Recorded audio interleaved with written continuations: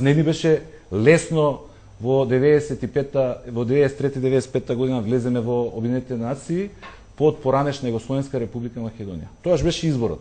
Или така или никако. Ќе останете недефинирана територија, а војните на просторите на поранешна Југославија се водеа со агресивната политика Милошевиќ, прашање дали воопшто после тоа ќе можевме да дојдеме до своја држава или низ кои све пребрежја ќе можевме да поминеме. Груевски ја доби поддршката од граѓаните на последните парламентарни избори. Бараше 67, доби 63.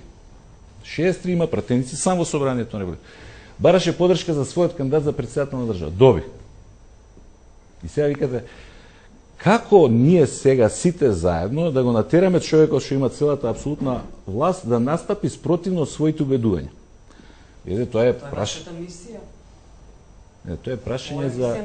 Вие, неам ја намера да се бавам со психоанализи било чии, вклучително и на премиерот. Па се досадат крупни одлуки за едината на државата. Тој што е на власт, ако сака да биде на власт, мора да ги донесе дури и спремен да не добие аплауз. Обратно, да го плюкаат, да го критикуваат, Но, да го негираат. Да сакаш да бидеш премиер. Сакаш да носиш е, крупни одлуки. Сакаш да бидеш власт.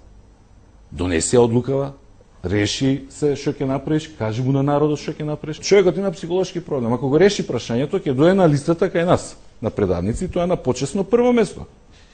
Оти ако сме ние биле предавници за времено решение, ој сега треба за трајно решение.